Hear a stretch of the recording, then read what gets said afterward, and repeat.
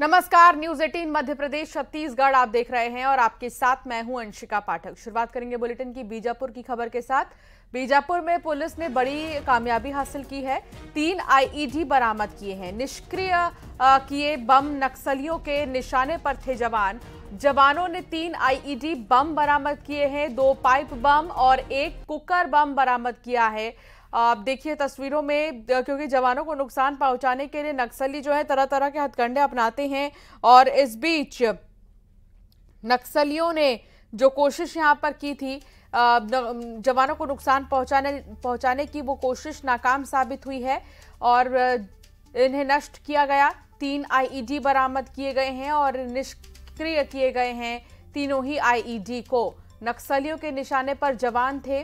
दो pipe bomb और एक कुकर बम भी मौके से मिला है। तो ये तस्वीर उसकी हम दिखा रहे हैं एक्सक्लूसिवली किस तरह के हथकंडे नक्सली अपनाते हैं आप देखिए। जवानों को नुकसान पहुँचाने के लिए। लेकिन इस कोशिश को नाकाम साबित किया है। सेना के जवानों ने और सुरक्षा बलों ने। जितनी भी फोर्सेस वहाँ पर तैनात होती हैं, उनकी समझ बूझ के साथ, सोच बूझ के साथ ही ये हो पाया और इस बम को निष्क्रिय किया जा सका। दिनेश गुप्ता, संवाददाता साथ जुड़ गए हैं। दिनेश, जो कोशिश थी नक्सलियों की, उसे जवानों ने नाकाम साबित किया। बलों के जवानों को एक बड़ी सफलता हासिल हुई है। जो नक्सलियों के द्वारा सीरियल बम लगाए गए थे सुरक्षा बलों के जवानों को नुकसान पहुँचाने के लिए। सुरक्षा बल के मुस्तैदी से या जो नक्सलियों की करतूत को विफल में, विफलता के रूप में पहुँचा दिया है सुरक्षा बलों के जवानों ने। और कहीं ना कहीं जो ये ये जो लगाए गए बम है, इसमें तीन बम बरामद किए गए हैं। और जो बम, एक एक कुकर बम है और दो पाइप बम है। जिसमें दो तीस तीस किलो के हैं और एक दस किलो के हैं। संभवतः यह बहुत ही बड़ी जो साजिश थी नस्लियों की सुरक्षा बलों के जवानों ने समय रहते नाकाम कर दिया। नहीं तो सुरक्षा बलों सुरक्षा बलों को नुकसान पहुँचाने की बड़ी साजिश रची गई थी। जी। अभी भी क्या सर्च ऑपरेशन जारी है? जी हाँ सर्च ऑपरेशन की बात करें तो पिछले दिनों से ही चारों जिलों में चाहे नारायणपुर की बात करें चाहे बीजापुर दंतेवाड़ा सुकमा सघन सर्चिंग अभियान जारी है। और इसी अभियान के दरमियान कई मुठभेड़ भी हुई है और ऐसे जो नक्सली द्वारा आईडी प्लांट किए जाते हैं, ऐसे आईडियो को कई बार विफलता भी विफल भी किया गया है सुरक्षा बलों के जवान द्वारा और लगातार सर्चिंग अभियान अभी जारी है और और भी कई सर्चिंग अभियान के दौरान मुठभेड़ भी हुई है। ये निरंतर यह जो प्रक्रिया है, ये जारी है, बस्तर में लाल आतंक जो जारी है, उस पर लगाम लगाने के लिए कहीं ना कहीं सुरक्षा बलों के जवानों का हौसला भी बड़ा बुलंदियों पर है। ऐसा देखा जा रहा है कि सुरक्षा बल पिछले दिनों भी मुठभेड़ में कई नक्सलियों को मारे, मार गिराए और आज नारायणपुर में भी एक बड़ी मुठभेड़ हुई है जिसमें आठ नक्सलियों को ढेर किया गया है। जिसमें एक सुरक्षा बल का जवान भी शहीद हुआ है। जी। बहुत शुक्रिया जानकारी साझा करने के लिए दिनेश।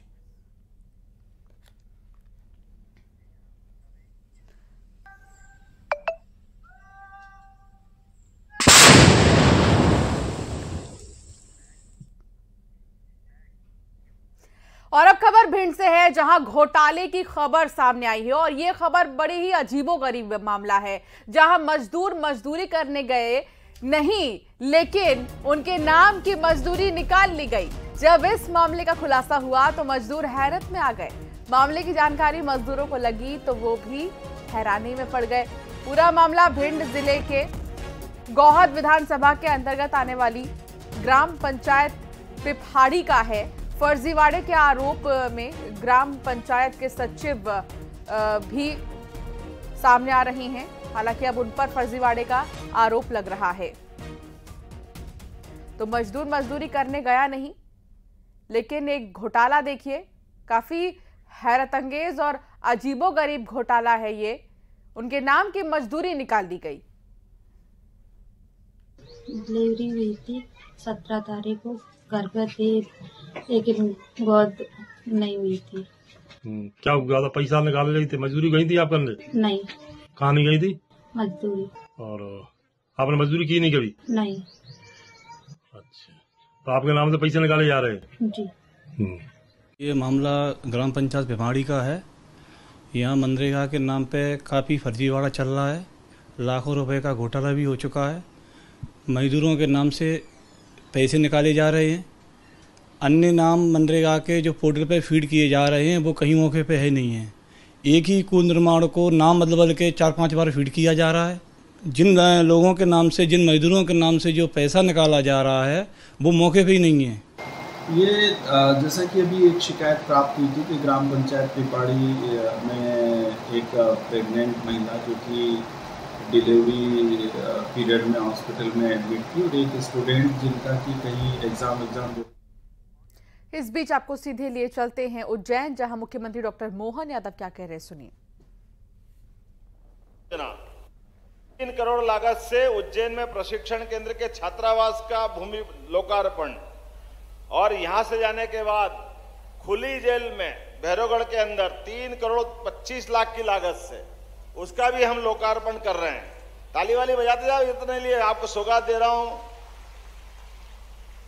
लगभग एक करोड़ की लागत से पुलिस आवास के विभिन्न कामों का लोकार्पण हो रहा है। आख्या जागीर के हायर सेकेंडरी फिर वापस घटिया का नंबर आया है। जोरदार ताली बजा पिछहत्तर लाख की लागत से आपके स्कूल का उन्नयन कर रहे हैं। हमारे अनुसूचित जाति बच्चों के लिए और ओबीसी के बच्चों के लिए 27 लाख की लागत से इनके छात्रावास के भवन का भी लोकार्पण कर रहे हैं। जोरदार तालियाँ बजाएँ अपने इन कामों के लिए। अर्थात सब मिलाकर के पाँच करोड़ की लागत से तो ये क्लोज डक्ट और 218 करोड़ के 40 विकार विकास कार्यों का भूमि पूजन और लोकार्पण एक साथ एक ही मंच पे कर रहे हैं ताकि अपनी सौगात में देर नहीं लगे। मैं क्षमा चाहता हूँ माननीय मुख्यमंत्री जी। हम सब खड़े होकर के अभिनंदन करेंगे माननीय मंच भी। माननीय संतों को छोड़ करके सभी लोग खड़े होकर के इतने कामों के लिए खड़े हो जाइए अपने स्थान से तालियों की गड़गड़ाहट के साथ। माननीय मुख्यमंत्री जी का अभिनंदन कीजिए। बहुत बहुत धन्यवाद मुख्यमंत्री जी, आपका आभार मुख्यमंत्री जी। अनिल जी ने मेरे पे और वज़न चढ़ा दिया।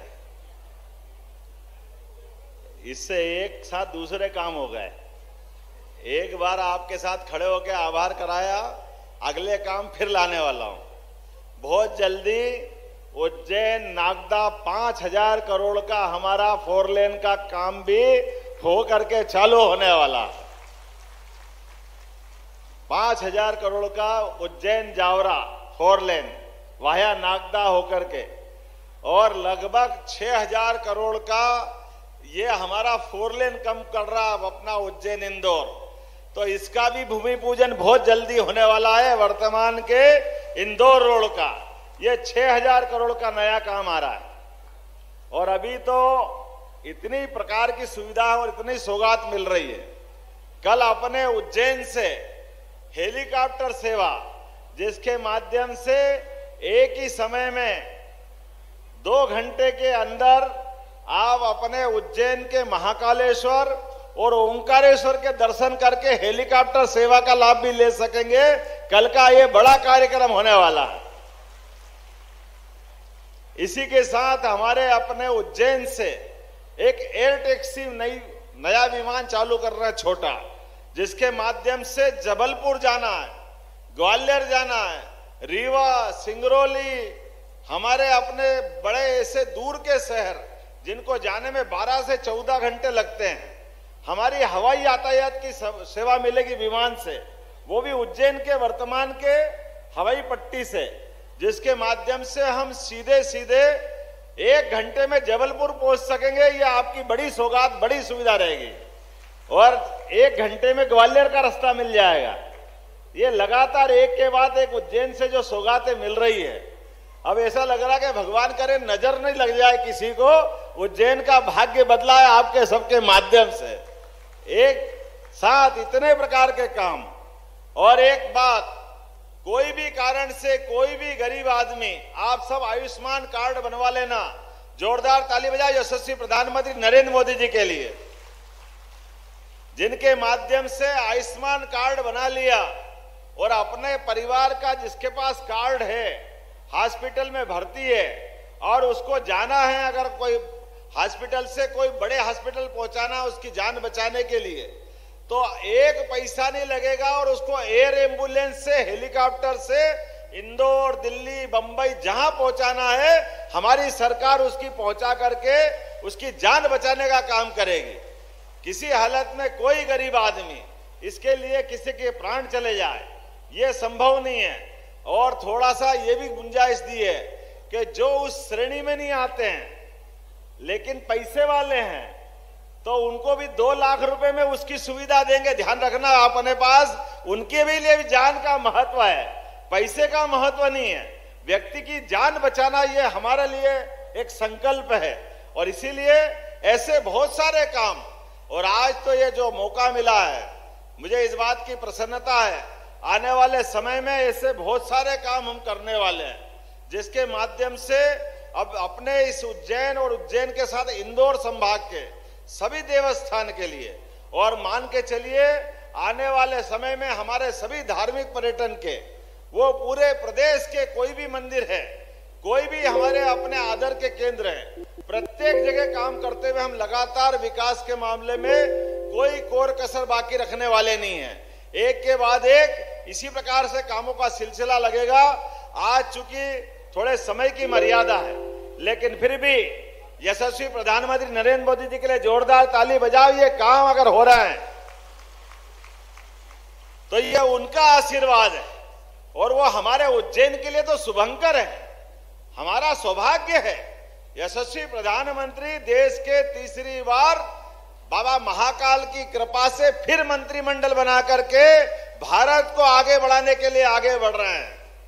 और उनके कारण से हमारे कोई देवस्थान आप कभी कल्पना कर सकते थे, हमारे बाबा महाकाल के महालोक के लिए मुझे इस बात का आनंद है कि आज से तीन साल पहले बाबा महाकाल के महालोक का लोकार्पण हुआ तो हमारे उज्जैन की दशा बदल गई। लेकिन आपको एक और जानकारी देना चाहूँगा, वो जो एफ़ की प्रतिमाएँ महाकाल मंदिर में थी, जिसके कारण से वो आंधी में उड़ गई थी हमने अपने उज्जैन में कलाकारों को बुलवाया है और वो प्रतिमा बना रहे हैं। महाराज जी, सभी प्रतिमाएँ पत्थर की बना करके महाकाल मंदिर में लगाने वाले हैं। एक भी प्रतिमा एफआरबी की नहीं रहेगी, सब ठोस पत्थर की बनेगी। और इतना ही नहीं, महाकाल में तो बनेगी और लगेगी। उज्जैन में प्रतिमा बनाने का नया कारखाना चालू कर रहे हैं। पूरे देश और प्रदेश में पहुँचा सकेंगे अपन प्रतिमाएँ। अब जयपुर जाके खरीदने की ज़रूरत नहीं है। उज्जैन में ही बनेगी प्रतिमाएँ। अरे उज्जैन आओ, नहाओ दो, छिपराजी में महाकाल दर्शन करो। आपके मंदिर में भगवान की स्थापना करना है। तो उज्जैन से ले जाओ, नहीं भगवान, उसमें क्या तकलीफ़ है? यही प्रतिमा मिलेगी। हमारे लोगों को काम मिलेगा, प्रदेश में रोज़गार मिलेगा और ये होना चाहिए कि नहीं होना चाहिए? होना बताओ अपने हिसाब से। और आगे, पीतल की प्रतिमाएँ भी। हमारी सभी प्रकार की पीतल की प्रतिमा के साथ साथ पूजा पाठ के सभी प्रकार के संसाधन जो हमारे पात्र काम में आते हैं, वो भी अपने मध्य प्रदेश में बनवा करके पूरे देश को सप्लाई कराएँगे। कोई तकलीफ़ नहीं है इस व्यवस्था में जोड़ने की। बड़ी खबर रुद्रप्रयाग से आ रही